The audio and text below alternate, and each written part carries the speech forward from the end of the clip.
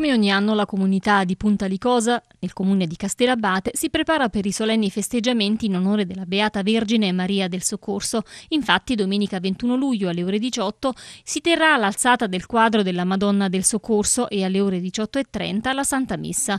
Giovedì 25 luglio e venerdì 26 luglio alle ore 18.30 ci sarà il Santo Rosario e la Santa Messa. Sabato 27 alle ore 18.30 Santo Rosario e Santa Messa, mentre alle ore 19.30 musica musiche sull'acqua a cura del concerto bandistico Santa Cecilia di Castellabate, diretto dal maestro Leo Capezzuto. Domenica 28 luglio, Santa Messa solenne e a seguire processione della Sacra Immagine della Beata Vergine Maria del Soccorso. Ad accompagnare la processione il complesso bandistico Santa Cecilia di Castellabate.